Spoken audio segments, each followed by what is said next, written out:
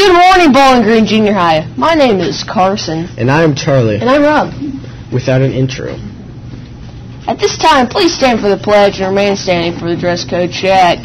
I pledge allegiance to the flag of the United States of America and to the republic in which it stands, one nation, under God, indivisible, with liberty and justice for all. Please remain standing for the dress code check.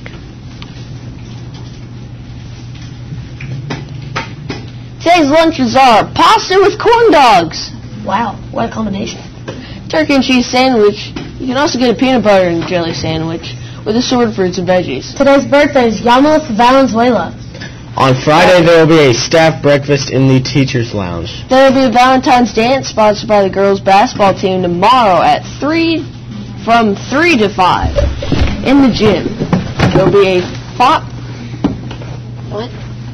Five dollar admission fee. Uh, and there will be concessions. I'm Carson Bird, stay classy, Bowling Green.